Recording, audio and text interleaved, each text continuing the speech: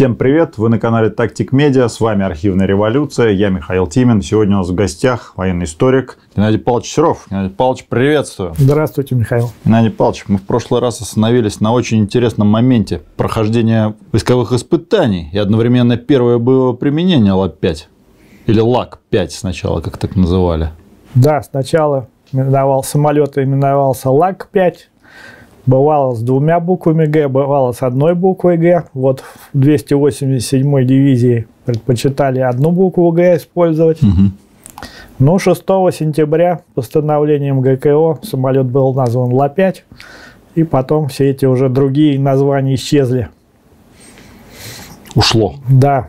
В прошлый раз мы рассказывали про войсковые испытания Ла-5 в 49-м краснознаменном истребительном полку что, в общем-то, соответствовало обычной практике, то есть войсковые испытания в одном полку проходили. Угу. Но вот тут, в связи с чрезвычайной ситуацией под Сталинградом, куда была направлена получившая следующие самолеты 2-3 серии 287-я истребительная авиационная дивизия, по сути дела, не иначе как командующим ВВС Красной Армии Новиковым было приказано как бы провести еще одни войсковые испытания и составить еще один акт уже по опыту действия на Сталинградском фронте. И акт этот оформляла уже 287-я дивизия. То есть вот самолету повезло в этом отношении, что у него два акта по войсковым испытаниям. Второй акт уже действительно был всеми утвержден и подписан в октябре месяца 42 года. Ну, собственно, как там происходило дело. Так подробно, как в 49-м э, полку мы здесь не будем обсуждать. То есть там в составе дивизии входило первоначально 4 полка. Потом был добавлен еще один, правда, два к этому моменту уже убыли из ее состава. Больше ста самолетов прошло через нее и, соответственно, экипажей. Там боевых действий было достаточно много разнообразных, поэтому день за днем мы тут не, не будем все это изучать, а будем более крупно. Широкими мазками. Широкими мазками. Самое такое интересное, как говорится. Первоначально, как я уже говорил, приказом от 11 августа в состав дивизии которая была до этого на Брянском фронте и была выведена в резерв, на переформирование было включено 4 авиаполка. Вот 49-й уже нам известный, 240-й, 437-й и 27-й. Был поставлен срок готовности дивизии 25 августа. Правда, потом заменен на 17 августа. Но уже через буквально пару дней 49-й авиаполк из ее состава изъяли и отправили на Западный фронт, а вместо него ввели 297-й истребительный авиаполк. Угу. Вот она первоначально была четырехполкового состава. Значит, командиром ее был герой Советского Союза полковник Данилов, военком полковой комиссар Олейник, начальник штаба полковник Белоусов.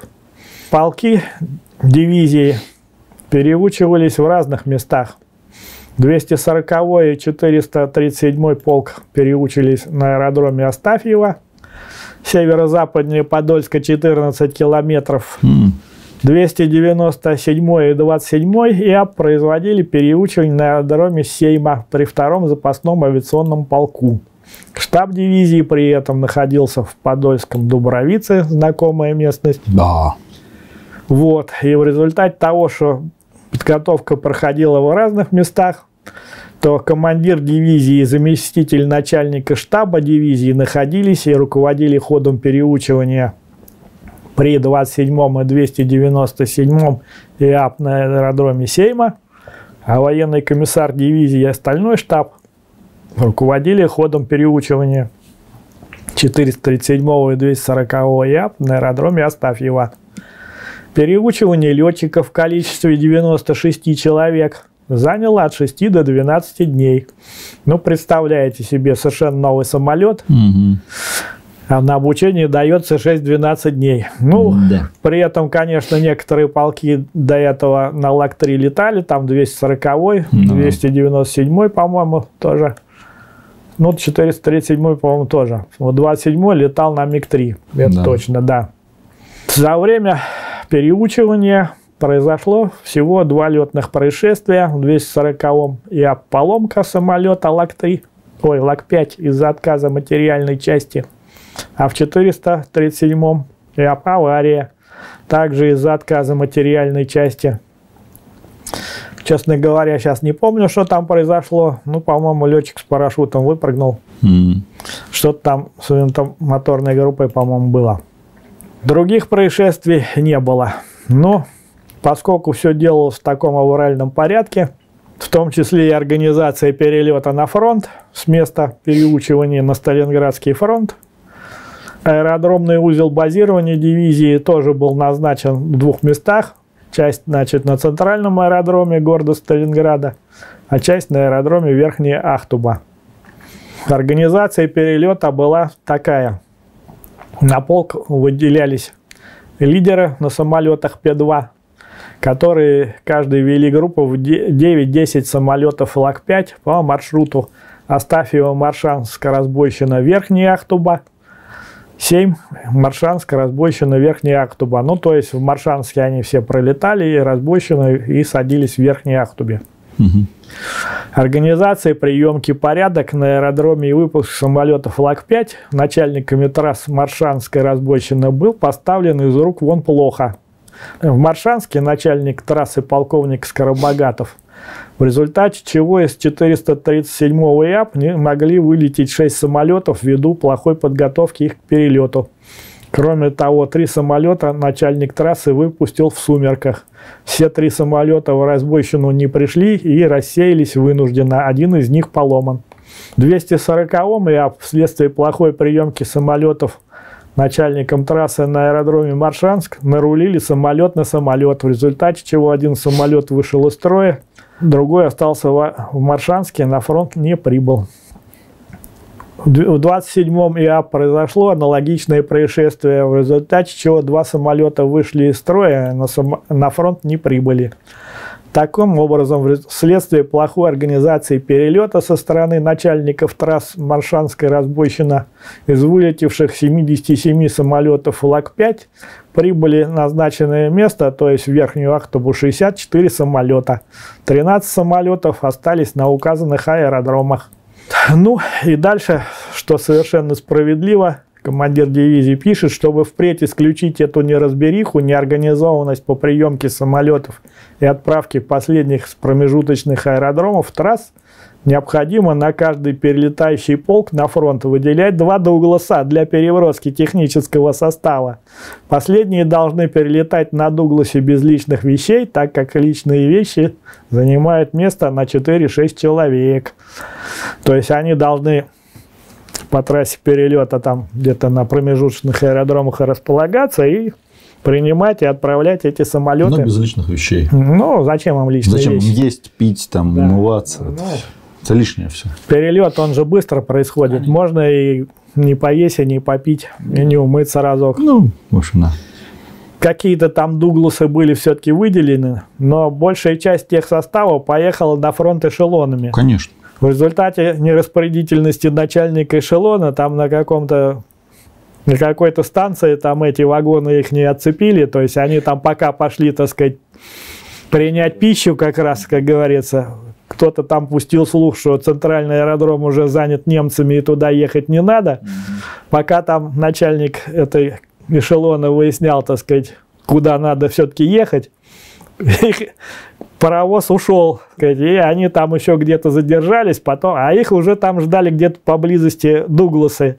Дугласы их не дождались, соответственно, там уж эшелон-то не прибыл с личным составом, ну и улетели. В общем, тех состав там прибыл уже, как они потом написали, к шапошному разбору, когда там уже самолетов в полках не осталось. А те, которые прибыли с Дугласами, вот там, хорошо, что завод опять же, 21 там и 19 прислали опять рабочие бригады для помощи, так сказать, в восстановлении самолетов и в ремонте. И тогда, и вот они-то там им и помогали. Читаем дальше. Части дивизии прибыли на Сталинградский фронт 19 августа 1942 года. Аэродромы базирования полков были установлены следующие. 27 и 297 ИАП Центральный аэродром Сталинград, 437 и 240 ИАП аэродром Верхняя Ахтуба. Управление дивизии деревня, что юждение станции Разгуляевка 1 километр.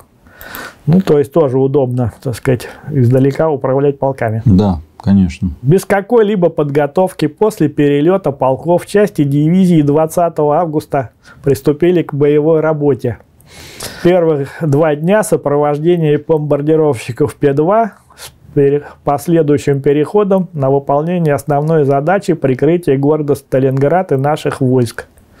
Так, так. Да. Тревожно. Ну вот, тревожно, да. 23 число близится. Ну, про 23 число там особо как раз все и опустили, потому что никаких Как там... так? Ну, так вот, а так, так, а что ты у нас умеют писать, ребята? Там уж докладывать, собственно, было не о чем.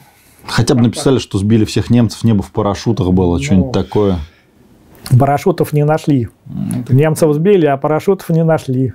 Более подробное даже сведения вот этот представил командующему, а вернее заму командующего Ворожейкину и начальнику штаба Фалалееву, начальник воздушно-стрелковой службы ВВС Красной Армии Рафалович, как ни странно. Какая, Интересно. как воевала дивизия в период с 22 по 27 августа 1942 года. Причем это была проверка боевого применения артвооружения самолета ЛАК-5, проведенная старшим инженером воздушно-стрелковой службы ВВС подполковником Разумовым. Ну и вот здесь уже сразу дается характеристика самолета ЛАК-5 в сравнении с самолетом ЛАК-3. По отзывам летного и технического состава 287-й дивизии самолет ЛАК-5 в сравнении с самолетом ЛАК-3 имеет большую горизонтальную и вертикальную скорость лучшую маневренность и легче управляем при пилотировании, но имеет ряд недостатков. Ну, тут недостатки примерно те же, что и в 49-м полку. Слаб верхний капот мотора, заедание костыля шасси и самоубирание его на посадке – заедание кнопок выпуска и убирание шасси и щитков, трещины масла баков, срезание болтов капота НАКа, опять же, ну и там вот такие вот трещины у штуцеров бензобаков.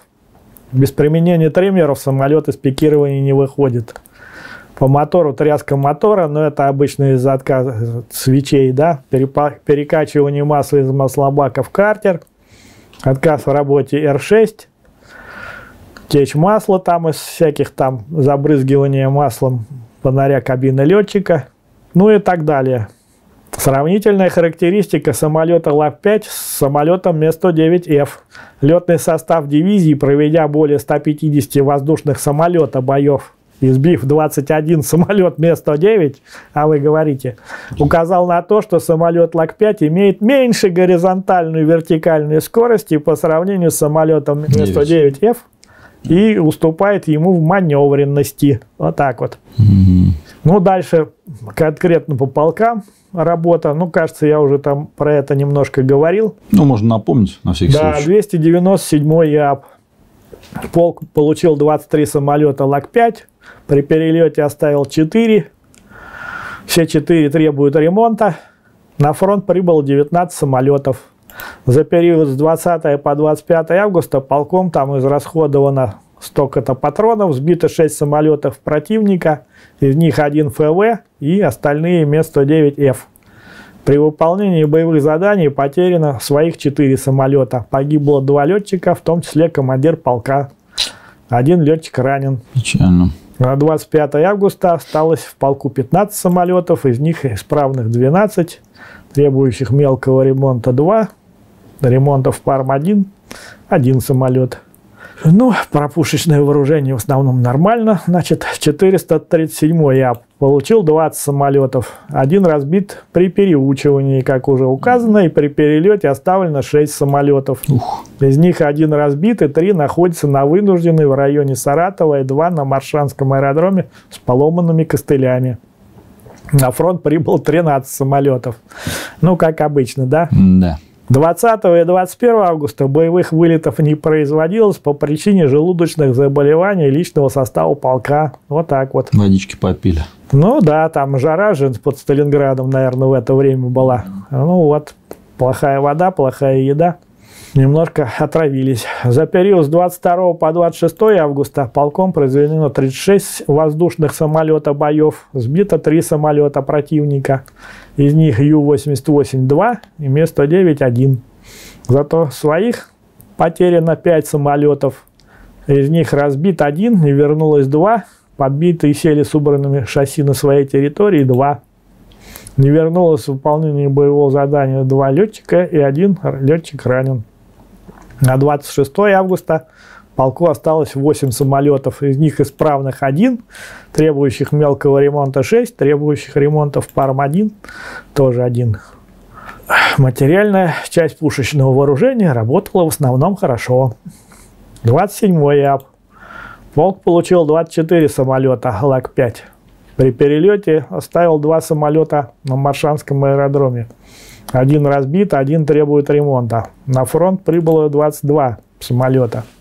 За период с 20 по 26 августа полком проведено 66 воздушных самолета боев. Избито 12 самолетов противника, из них Ю-87 4 самолета, Хенкель 111 2 и Ме-109 6. При выполнении боевых заданий потеряно своих 7 самолетов. Не вернулось в выполнение заданий два летчика. Ранено два летчика. Небоевые потери. Летчик убит, самолет поломан. На самолет ЛАК-5 нарулил самолет Як-1. На 26 августа осталось в полку 14 самолетов, из них исправных 6, требующих мелкого ремонта 1, заводского ремонта 1, требующих замены деталей 2 винта, руль поворота и один мотор 3, тряска мотора 3. Опять пушечное вооружение работало в основном хорошо. Ну, 27-й полк из этих полков, конечно, выделялся в лучшую сторону, несмотря на то, что там, вот, как я говорил в прошлый раз, его половина осталась где-то там в Москве, половина добавлена из каких-то там... Да, из запов там и непонятно откуда. Все равно, так сказать, опыт, как говорится, у него был больше, чем, видимо, у других остальных. 240 я получил 22 самолета ЛАК-5. При перелете оставлено 2 самолета. Оба требуют ремонта. На фронт прибыло 20 самолетов. В период с 20 по 27 августа с полком проведено 52 воздушных самолета боя. Избито 10 самолетов противника. Из них Ю-88-1, Ме-109-9. При выполнении заданий потеряно своих 7 самолетов не вернулась с выполнения заданий 6, сбита нашей зенитной артиллерии 1, небоевые потери 1, погибло 3 летчика, 2 легко ранено, не вернулось с выполнения боевых заданий 6 летчиков.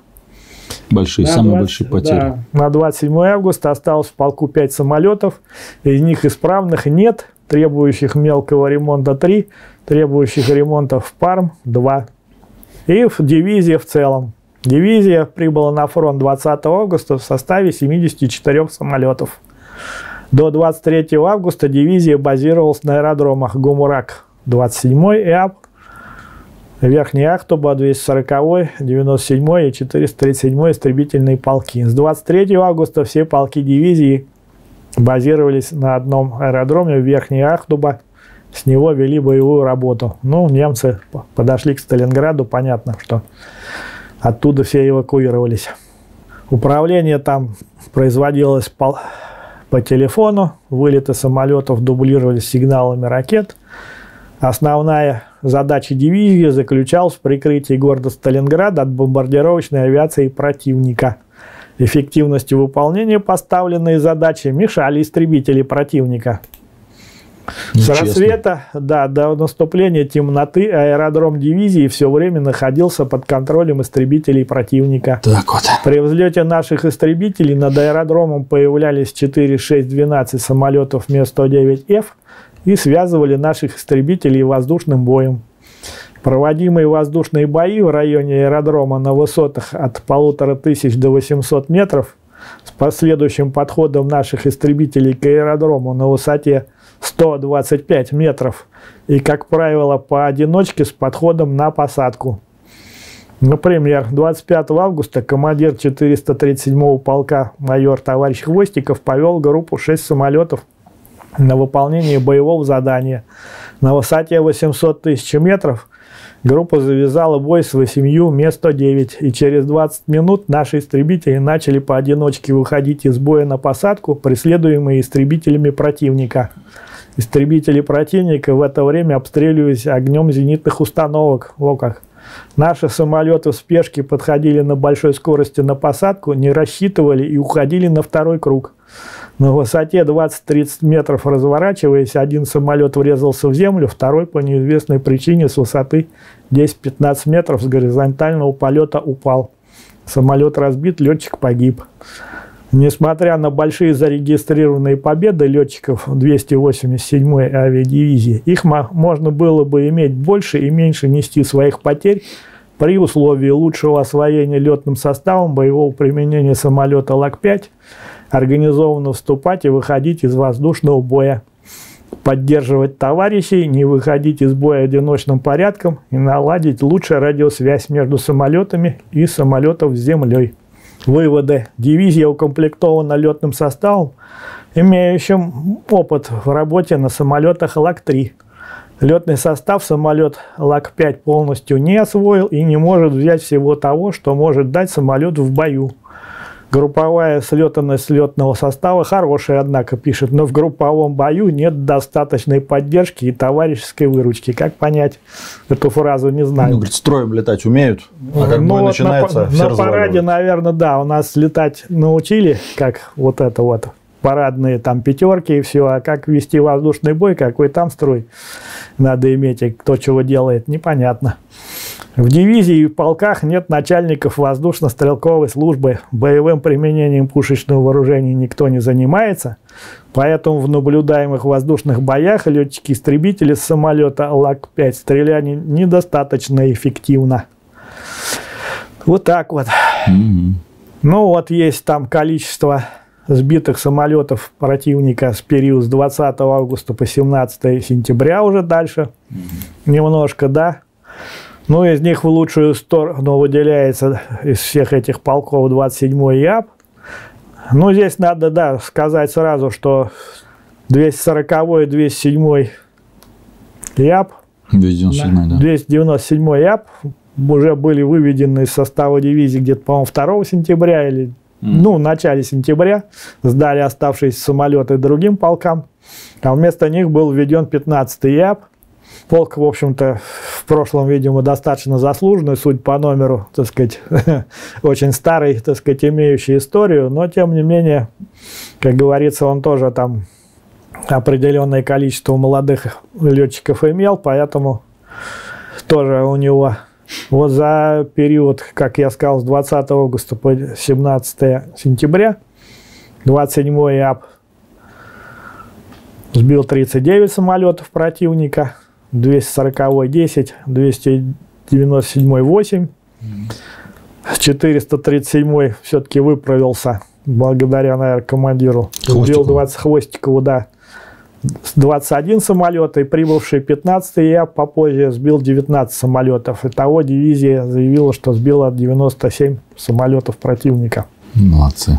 Правда, из них, ну, достаточно много Ме-109 и Ме-109Ф они разделили как-то, не знаю почему, по какому признаку. 18 плюс 22 это 40 штук. И 32 Ю-88. Ну, остальные там Ме-110 4, там Ю-87 8, Сеньки 111 3. Все. 437 там, кстати, вот эти вот, одно звено летало Значит, девушек из ПВОшного полка. Ну, мы прочитали, он, кстати, дольше всех там продержался, продержался в этой дивизии, да. И потом там на него очень хорошая была характеристика командованием дивизии, мы потом это зачитаем. Войсковые испытания. Л-5 в этом, ну, там как раз в первых числах сентября прибыли комиссии из Москвы, mm-hmm. Маленков, Жуков, Новиков. Видимо, начались там орг всякие выводы. Массовые расстрелы. Ну, По поводу расстрелов, это вы лучше там спросите у кого-нибудь более сведущего, например, дважды герой Попкова, Да. который там был, якобы видел, Рассказал, что Жуков вор как- стрелял. Как, Жуков его расстреливал, хотя он в то время был на Калининском фронте. Но, тем не менее, бывают у нас такие вот... Попков всю правду все время рассказывал. Да, ну- Все время говорил. К сожалению, но он от кого-то это, видимо, слышал, Конечно. потому что, так сказать, потом у него долгая была история, так сказать, и судьба, и там с Василием Иосифовичем Сталиным он после войны там служил в одной дивизии, так что думаю, что откуда у него сведения, там масса, я думаю, источников. Войсковые испытания, переходим сразу, значит. Представлены они были гораздо, так сказать, ну, серьезнее. Руководил войсковыми испытаниями от НИУВС инженер-подполковник Фролов, тот самый, который был председателем комиссии по совместным испытаниям опытного ЛАК-3 Серьезно, серьезно. СМ-82. Инженер-капитан Алексеенко Василий Иванович, который потом, ну, здесь он еще был молодым достаточно человеком, но впоследствии он руководил вот бригадой по испытанию самолетов ЛА в НИИ ВВС, так же, как э, Степанец Алексей Трофимович руководил Яками. Яками, да, бригадой по испытанию самолетов Як. Ну, и здесь еще некоторые фамилии, которые нам ничего не говорят. Но, в общем, здесь их достаточно много. Представительный. Представительный, да, уже. Здесь вот сразу, значит, ну, про 49-й. Они обобщили здесь в акте данные 49-го краснознаменного ЯП. И вот всех э, пяти полков, можно сказать, нет, без 240-го. 287-й ЯД на Сталинградском фронте. Вот про 287-ю дивизию написано, что с 20 августа по 13 сентября частями выполнено 226 самолетов вылетов на разведку войск противника, 571 самолет вылет на прикрытие войск и перехват самолетов противника. В результате воздушных боев самолетами противника сбито бомбардировщиков 51, истребителей Ме-109 19 и Ме-109 F-17. Кстати, вот по поводу 49-го, за период с 2 сентября по 14 сентября, то есть войсковых испытаний, у них было 117 боевых самолетов вылетов, избито бомбардировщиков 7, истребителей 5, Ме-109 и Ме-109Ф. Ну, дальше пошел тут уже, как говорится, результаты испытаний с констатацией того факта, что на Сталинградском фронте самолеты вели бои с немецкими истребительными самолетами Ме-109Ф4 с мотором Daimler-Benz 601E и Ме-109Ж2 с мотором Daimler-Benz 605А1. Вооружение самолетов либо три пушки калибра 20 мм и два пулемета МГ-17 калибра 7,92 или одна пушка и два пулемета. А также бомбардировочные самолеты Ю-88, Ю-87, Ме-110 и Хенкель-111. Ме-110 попал в бомбардировочные самолеты. Нехай. Ну вот, да. Полетно-тактическим качеством в воздушном бою с немецкими самолетами Ме-109Ф4 и Ме-109Г2 самолет Ла-5 значительно уступает им как по вертикальному маневру, так и по горизонтальной скорости, в результате чего самолет Ла-5 не может вести с немецкими истребителями F4 и Г2 активного воздушного боя, а вынужден вести оборонительный бой. В воздушном бою с немецкими самолетами Ю-88, Ме-110 и Хенкель-111 самолет Ла-5 отвечает всем требованиям современного истребителя по скорости и маневру. Вооружение требует усиления мощности огня. В процессе боё- выполнения боевой работы самолеты Ла-5 были использованы для ведения разведки войск противника. Выполнение разведки на самолете Ла-5 на высотах от 100 метров до бреющего полета, это ж вообще там затруднено вследствие недостаточного обзора вперед-вниз широкий капот мотора.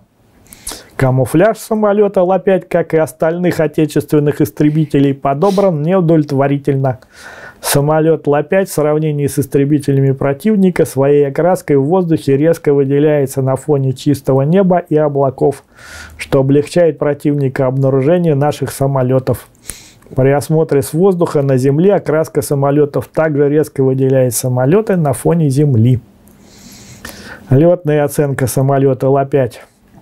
Управление самолетом на элероны на средних скоростях нагрузки нормальные, на скоростях свыше 450 км в час нагрузки значительно увеличиваются.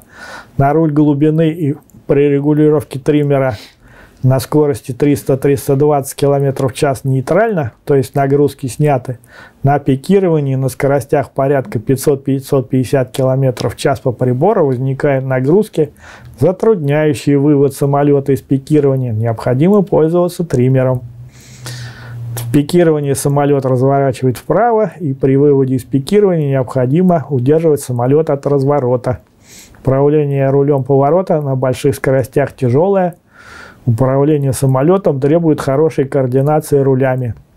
На правом вираже самолет стремится опустить нос, приходится поддерживать левой ногой. Ручка управления самолетом удобна, но управление тормозами расположено неудобно. Нагрузки при торможении большие, вследствие чего летный состав набивает на правой руке мазали ладони средний палец. Управление огнем расположено удобно. Сектор нормального газа недоработан, опять же. Сектор управления винтом расположен неудобно. Сектор уходит слишком низко и далеко. Рука летчика упирается в кнопки управления шасси. Ну и дальше. Обзор из кабины при закрытом фонаре. Обзор вперед удовлетворительный. Стороны хорошие, назад обзора нет, вследствие чего невозможно наблюдать за самолетом противника, находящимся в задней полусфере. Фонарь кабины невозможно открыть на больших скоростях. А на планировании, благодаря неудовлетворительной работе замка, фонарь сам закрывается. При закрытом фонаре прицельный огонь вести невозможно вследствие высокого расположения прицела. Голова летчика упирается в фонарь. Поэтому полеты на самолете Ла-5 в боевых условиях производятся только с открытым фонарем. Фонарь требует переработки, необходимо сделать его свободно открывающимся и закрывающимся на всем диапазоне скоростей и обеспечивающим обзор назад. Вентиляция кабины неудовлетворительна, в кабине душно жарко. Существующая вентиляция не позволяет летать без очков, а своему прямому назначению не соответствует. Ну, по живучести тут только одни примеры, какие были там повреждения. При этом никаких, так сказать, выводов не, не написано. На Западном фронте то же самое. Здесь они приводят примеры, и мы уже их разбирали. Мотор М82 в процессе боевой работы эксплуатировались на топливе 4Б78 по характеру боевой работы, разведка, воздушный бой с бомбардировщиками, истребителями патрулирования, моторы большую часть времени работали на номинальном режиме. Ну, тут немножко повтор 49-го полка. На 80% моторов после 10-12 часов работы появляется тряска из отказа свечей ВГ-12. После замены свечей тряска прекращалась. Ну, тут опять про перекачку масла, фильтры фетровые и так далее. Неудовлетворительная работа карбюраторов, которые там часто приходилось подрегулировать. Течь масла. Из-за этого возвращались с боевого задания, так как козырек весь забрызгивает маслом, и самолет становится слепым. Температурный режим в основном тоже нормальный. Но при полном закрытии створок капотов мотора температура воздуха в кабине летчика значительно повышается вследствие негерметичности противопожарной перегородки и недостаточной высоты ее, что утомляет летчика и затрудняет полет. Ну, вот там, кстати, на фотографии самолета вот 0218, где угу. вооружение показано, как раз видна эта перегородка, там угу. в ней такие большие вырезы, там вот под проходы пушек угу. и так далее. Понятно, что самолет изначально не был предназначен для установки мотора воздушного охлаждения. Никто не позаботился о том, чтобы там была вот эта перегородка герметичная. А, а как уж там, так сказать, в ППХ установили этот мотор, ну, как получилось. Да. Да. Ну, дальше там по отдельным системам. Опять же, крепление вот кольца капота, что трещины появляются по ушкам крепления к мотору. Там, как выяснилось, значит, мотор на мотораме был подвешен на эластичных втулках, чтобы вибрацию гасить. Угу. При этом капот частью крепился на мотор жестко, а частью жестко, так сказать, на переднюю часть фюзеляжа. Мотор болтается, значит, там вибрирует, и при этом все там разбалтывалось. Опять же, ну что, в ППХ все делались. Из-за этого вот там эти, э, поначалу у нас было много проблем с капотом. Там были случаи срыва вот этих крышек. Есть такие фото, да, там на испытаниях в НИВ и в сообщении с полков. Ну, выхлопные патрубки, опять же, вот эти вот коллекторы, да, два полуколлектора, там, в котором куча-куча пристыкованных. Они сварные. После сварки известно, что конструкцию ведет там как-то при остывании. Естественно, каждую там как-то по-разному. Их индивидуально подгоняли, и при этом они еще частично там подгорали довольно быстро. А запасной поставить трудно, поскольку приходится индивидуально опять там что-то подколачивать, там подгонять как-то их по месту. Все они нестандартны и требуют индивидуальной подгонки, занимающей много времени. Вооружение опять написано то же самое, что по боекомплекту достаточно, но по мощности огня требует усиления. Работает хорошо, но имеются, значит, некоторые дефекты. Там в основном по пушке недоход подвижных частей пушки в переднее положение вследствие осадки возвратной пружины, неотражение стрельной гильзы из-за отгиба флажка отражателя. Но это чисто пушечные дефекты, как говорится. Эксплуатация вооружения удобна, монтаж и демонтаж удобен и требует мало времени. Опять же, то смотрим, капоты сняли, пушки вот они. На самолетах с мотором жидкостного охлаждения, где моторная пушка, попробуй до нее еще доберись. Даже если капоты снимешь, сверху пулеметы, тут это еще патронные ящики какие-то, гильзы всякие, там отводы, а пушка там где-то в середине.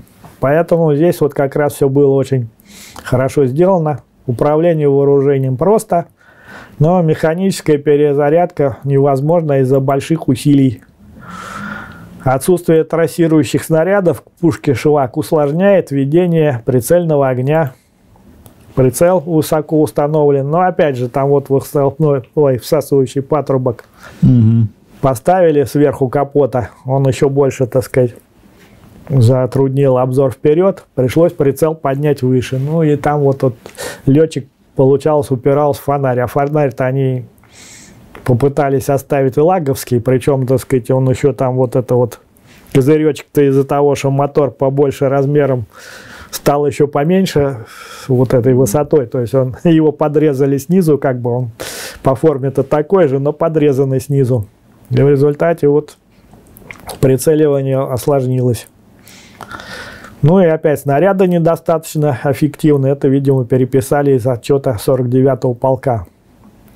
Но выводы, собственно, вот уже понятны. Я их особенно зачитал. Ну, повторять смысла не имеет, что сильно уступает, значительно уступает в воздушном бою немецким истребителям.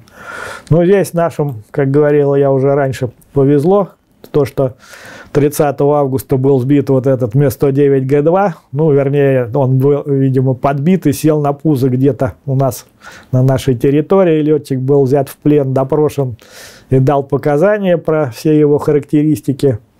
Тут все с облегчением, видимо, командиры наших полков дивизии, так сказать, вздохнули. Вот, оказывается, почему у нас плохо так все дело идет. У немцев новый, так сказать, истребитель с новым мощным мотором, с повышенными скоростями, там плюс вооружение еще там пятиточечное, ну, по крайней мере, на некоторых. Это типа как, по... какой-то там Гельмут Розе, что ли? Я не помню уже. Где-то там он есть. Сейчас я не помню эту фамилию. Потом найдем. Ну, на бог с ним.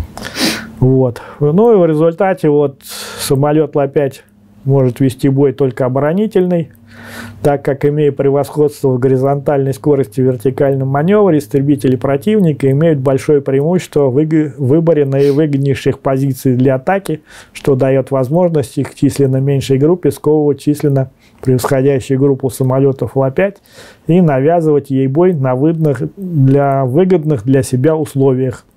Управляемость самолета на больших скоростях неудовлетворительная, большие нагрузки и приведение воздушного боя требует от летного состава значительных усилий.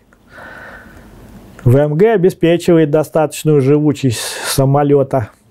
Однако плохая система нейтрального газа снижает противопожарные качество самолета.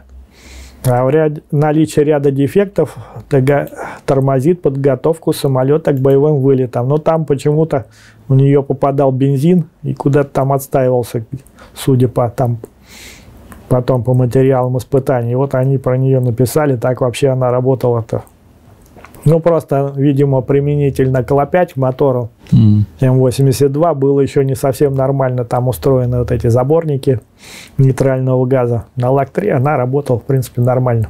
Управление ВМГ недоработано опять сектор нормального газа, управление створками капотов, пользование форсажом неудобное и так далее. Мотор при ведении воздушного боя на первой и второй скоростях нагнетателя работает удовлетворительно. Свечи не выдерживают, отказывают через 10-12 часов. Фетровые фильтры опять. Ну и чего там. Эксплуатация вантомоторной группы самолета Л-5 в летних условиях особых затруднений не представляет в сравнении с эксплуатацией ВМГ других отечественных истребителей. Уж не знаю почему в летних условиях горячую воду, так сказать, в радиаторы как бы заливать вроде не надо было. Это зимой вот преимущество mm-hmm. воздушного мотора в том, что не надо воду, как говорится, греть и заливать. Mm-hmm. Хотя подогрева он тоже требовал, естественно, масло-то густело в моторе, mm-hmm. его-то не сольешь. Не случайно я думаю, что немецкие Фоки-Вульфы в основном и начали с севера, так сказать, внедряться, и потом как-то они до Центрального фронта дошли, а на юге и там их что-то мало очень было, в основном мессершмитты. Ну, штурмовики-то тоже они применяли. Ну, штурмовики, не, ну, потом-то они их применяли везде уже, но как-то вот, то есть, видимо, немцы тоже сообразили, что самолет с мотором воздушного охлаждения на севере как-то он более актуален. актуален. И, а может, там проблемы с охлаждением, кстати, какие-нибудь тоже были, фиг их не знает. Ну, Но, скорее всего, с эксплуатацией. не первые серии эксплуатировали. Все-таки они сначала отработали на Западном фронте Фуки-Вульфа. Ну, все равно как-то вот так вот бросилось в глаза, что они как-то вот с севера, потом там Калининский фронт, там потом Центральный. Не, ну первое, на Курской дуге там их много было. Это Мельдерс перевооружился все-таки на Центральном. Ну вот, ну дальше, в общем, короче, попозже. мы переходим, чего они, так сказать, рекомендовали улучшить. В целях обеспечения защиты летчика необходимо установить на самолете Ла-5 броню в соответствии с требованием НИИ ВВС. Mm. Уже формулировка такая политическая. То есть установить надголовник, подлокотник и прозрачную броню в козырек фонаря. То есть у них там уже вот эти схемы бронирования там типовые были разработаны. Ну и инженер-подполковник Фролов уже пишет, так сказать, как положено писать начальнику, все это формулировки дает. Угу. В целях повышения летно-тактических и боевых свойств самолета необходимо снизить полетный вес самолета за счет снижения запаса прочности самолета до 11 крат. А у нас по нормам 13 крат. Mm и обеспечить равнопрочность всех его частей и силовых элементов. В настоящее время самолет Ла-5 имеет по переднему лонжерону запас прочности 85%, что и составляет 11 крат, а по остальным узлам запас прочности составляет 100% и более. Полетный вес самолета должен быть не более 3000 килограмм. Ну, здесь вот опять, это уже на ЛАК-3 еще Лавочкину там некоторые фронтовые товарищи рекомендовали уменьшить. Ну, то есть, когда вот они узнавали вот эти вот цифры, то есть, где-то там в тех описании самолета, наверное, было, может быть, это написано, что по нормам прочности ЦАГи, а конструкторы другими никакими пользоваться, естественно, не могли выводить какие-то свои там. То есть у нас ЦАГи все решал по прочности, да? Разрушающая перегрузка 13 крат, а максимальная эксплуатационная 8. Угу. Все там делали круглые глаза. Что ж такое, там больше, чем полуторный запас вообще. Как такое может быть? Как вот так вот и может. Потому что самолет-то сделан из чего? Из дерева и клея. И когда вы делаете новый самолет и выкатываете его с завода со сборочного цеха, то у вас 13 крат он должен выдерживать перегрузку. А когда он немножко поэксплуатируется на свежем воздухе под дождем, так сказать, солнцем и прочими прелестями погоды, то и клей теряет свою прочность, и древесина начинает гнить, там, и рассыхаться, и там как-то расслаиваться, там, и чего, грибком поражаться. И в результате там гарантийный срок хранения, так сказать, эксплуатации планера либо 2 года календарных, либо 300 летных часов. Вот во время войны деревянных самолетов была такая заводская гарантия. Естественно, они по большей части, особенно в начале войны, и это ничего не вырабатывали. Там знаем, сколько там боевых вылетов они совершали там в начале войны там 20 с копейками там, потом там 40-50 там, ну к концу там они до 100 где-то там довели этот показатель, до 300 часов явно никто не, это только в запасных полках там и то не везде. Там ломали, потому что необученные люди садились в самолеты. А на фронте, потому что получали повреждения в боях, так сказать, от зениток и так далее. Вот из-за этого и был, так сказать, САГИ ввел 13-кратный запас, что за эти два года эксплуатации календарных как раз и снижается до 8 крат. Mm. А дальше уже, так сказать, он продолжает еще снижаться, прочность, но уже там, как говорится, гарантии никакой нет. Хочешь там лети, но ВВС, естественно, списывала. Mm-hmm. Ну вот, потому что эксплуатировать было нельзя, раз гарантии нет. Но рядовой и средний командный состав, естественно, ничего этого не понимали. Но вы сами понимаете, какой там уровень образования. То есть они увидели эти цифры и делают круглые глаза. И вот, ну, не знаю, почему Фролов, так сказать, это пропустил и написал.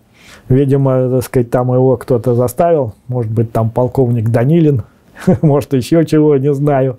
Ну, может, он сам посчитал, что не, вот. будет, ну, не будет страшно, ну, потому что 300, 300 часов все равно не вылетывают ну, год работы. может быть и так. Но здесь он просто э, указывает, что там вот, видимо, по результатам каких-то стат-испытаний получилось там на конкретном самолете передний лонжерон показал только 85% от разрушающей перегрузки, остальные детали были нормальные, 100% показали. Вот он говорит, товарищ Лавочкин, вместо того, чтобы увеличивать запас прочности лонжерона, то все остальные лучше, так сказать, уменьши, и вес снизится. И нормально. Ну, а там два года, неважно, все равно там он... Вообще, там вот скорость убытия этих новых самолетов ну, мгновенная Мгновенная, да. То есть их выпустили с завода там в первой декаде августа, а в третьей декаде... А к 26-му их уже нет. Да, к 26-му их уже нет. Там, то есть они прослужили там буквально две недели. Ну, какая там прочность? Ну, какая была, такая она и осталась. 70 с лишним машин да, осталось да, да, да. Поэтому вот такие вот иногда предложения у нас бывали. Коренным образом улучшить управляемость самолета, устранив чрезмерные нагрузки на элероны при прикладывании с виража в вираж на руль глубины при выводе самолета из пикирования на руль поворота. Нагрузки должны быть соразмерны на всех скоростях и не более, чем у самолета Як-7. Улучшить обзор назад путем снижения верхней части фюзеляжа за кабиной летчика. Фонарь кабины выполнить легко открывающимся на всех скоростях, а в аварийных случаях фонарь должен мгновенно открываться или сбрасываться. Устранить дефекты пушек «Швак» обеспечить строевые части трассирующими снарядами и эффективными зажигательными снарядами. Угу. При отсутствии трассирующих снарядов к пушке «Швак» установить на самолет ЛАК-5 дополнительно один пулемет УБС с запасом патронов 170 штук. И дописано рукой Хрюкина, который там тоже поучаствовал, устранить забрызгивание маслом козырька. Это на 50% увеличить боеспособность С выводами согласен 12 сентября 1942 года командующий ВВС 8-й воздушной армии генерал-майор Хрюкин. Ну и дальше подписали, значит, командир 287-й ад полковник Данилов, военный комиссар, полковой комиссар Олейник и начальник отделения истребительных самолетов третьего отдела НИВВС инженер полковник Фролов. Вот, собственно, как бы и все. То есть они даже не говорят, что по скорости-то уступает по скороподъемности. Но вес просто надо снизить, и все, и, и остальное все нормально. То есть а вот уже противоречие между, так сказать, отчетом по войсковым испытаниям 49-го полка и 287-й дивизии. То есть там они еще как-то могли немножко сопротивляться немцам и говорит, что ну вроде равные, там нормальные. А здесь они сопротивляться практически уже не могут. То есть немцы там задавили всю нашу истребительную авиацию, прижали к аэродромам. Ну все, значит, не может он по скорости уступает. Ну как он там, если он только взлетел и набирает высоту, как он может по скорости превосходить там истребитель противника, который на него сверху там пикирует, грубо говоря. Понятно, что тот там мимо него проскакивает, как мимо стоячего. Ну, Тут глупый вопрос возникает. А что они так не сделали с немецкой авиацией? Не, доза... не задавили ее на аэродром? Ну, они и долететь-то не могли. Как? Ну так, а они их же не выпускали с наших аэродромов практически. Там же потом, если почитаете, интересно, там они, там, когда вот их начали критиковать, там и Хрюкин начал изыскивать как же чего, там же они как, говорят, раз мы не можем преодолеть этот истребительный заслон немецкий, мы, говорит, там взлетаем и на бреющем уходим на восток. Ну, куда они уже долетать боятся, так сказать, далеко от линии фронта.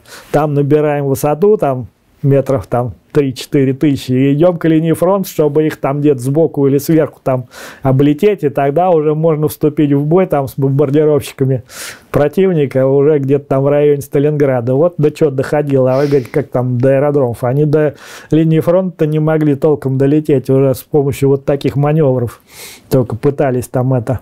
Ну, про разведку тут, кстати, довольно большой раздел получился – ну, в принципе-то, разведка потом станет очень важным элементом в боевой работе наших истребителей в том числе, а может быть даже и в первую очередь.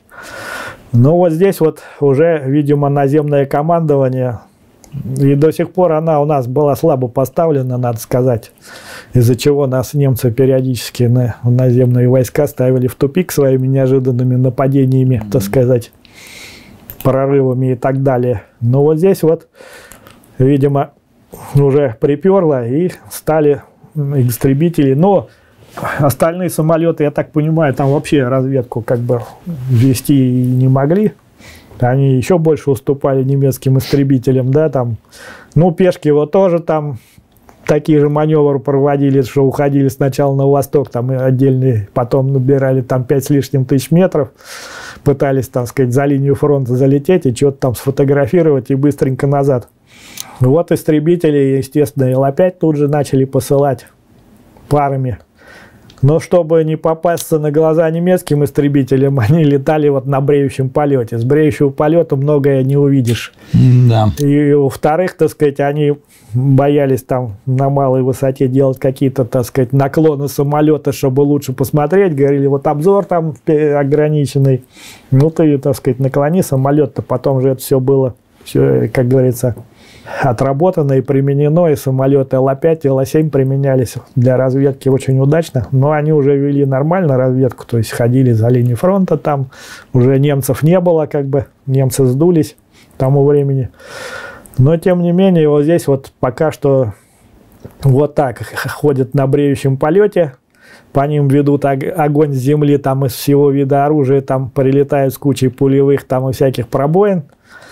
Ну, хорошо, что еще мотор воздушного охлаждения, там на жидкостном бы они бы там бы плюхнулись тут же, а этих все-таки возвращаются. Но вот особенно пишут, отличились как хорошие разведчики капитан Мистюк, ну это 437 полк, старший лейтенант Ковачевич, 27-й лейтенант Дранищев, опять 437 лейтенант Челикин, это, по-моему, 27-й, и старшина Водопьянов, тоже, по-моему, 27-й, которые организовали и вели разведку исключительно добросовестно и с большим старанием. Тут вот уже, ну, про разведку, ладно, сейчас не будем мы особенно, так сказать.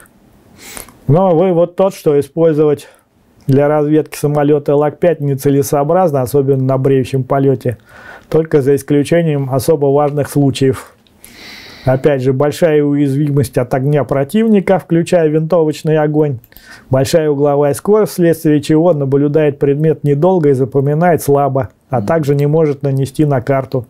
Отсутствие на самолете аэрофотосъемочного аппарата. Ну, естественно, откуда Понятно, он там да. пока так спешно все собирали, там в дальнейшем тренировать летчиков срочные данные передавать по радио прямо в воздухе до посадки. Вот ценное ну, заключение.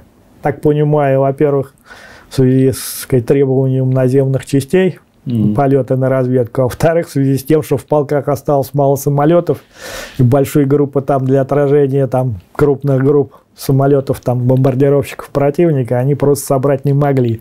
Ну как их еще и вот на разведку использовать. Радиосвязь. Положительные стороны применения радиосвязи летчиками управления земли самолетами в воздухе. В большинстве случаев радиосвязь работала односторонне, то есть на прием и на передачу в экстренных случаях. Ну и там приводятся примеры единичные, да, что там 16 сентября командир 15 ИАП капитан Тарасов, будучи сам в воздухе, управлял воздушным боем по радио, за что ему объявлена благодарность начальникам связи 8-й воздушной армии. То есть вот первые примеры удачного использования радио для управления своими самолетами в воздухе и уже ведущему, ну, ну, командиру, может, потому что полка, там объявляется благодарность. Капитан Васин 16 сентября тоже управлял воздушным боем по радио, и ему объявлена была благодарность. Отлично работали по радио майор Чуйкин, майор Солдатенко и другие. 14 сентября самолеты 15 ЯП, вернувшись с боевого задания, выпустили шасси и хотели производить посадку. В это время появились самолеты противника. Была дана команда посадку запретить. Команда самолетами была принята по радио, шасси были убраны, и истребители пошли преследовать самолеты противника. Во как! Особенно можно отметить хорошую работу по радио 15 и 240 ЯП. Ну, тот-то убыл быстро. Но наряду с этим есть летчики, которые считают, что радио является лишней нагрузкой в воздухе. Большим тормозом в применении радио явились отсутствие радиоспециалистов в полках в момент боевой работы. Ну, мы, видимо, они эшелоном ехали. Начальники связи полков использовались больше на оперативной работе и мало уделяли внимания вопросам связи. Отсутствие шлемофонов у летного состава, недостаточное обеспечение радиосредствами авиаполков также тормозило применению радио. Вот так вот вот. так вот, да.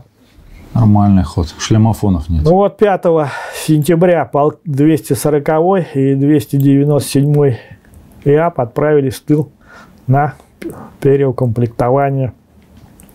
Часто цитируют донесения там летчиков отдельных, лейтенанта Челикина, например, с 227 ИАП. Для боя боя с бомбардировщиками противника самолет Лак-5 вполне современный истребитель, имеет хорошее вооружение с достаточным боекомплектом, хороший маневр и достаточный запас скорости. Для боя с истребителями противника самолет Лак-5 имеет положительные качества, лучший горизонтальный маневр, левый вираж и большую живучесть. Плохо воспламеняется по сравнению с самолетами МиГ-3, Лак-3, Як-1 и Як-7 но значительно уступает истребителям противника по горизонтальной скорости, вертикальному маневру и скороподъемности. Навязать истребителям противника воздушный бой на самолете ЛАК-5 из-за меньшей горизонтальной скорости нельзя. Вести бой приходится только оборонительный.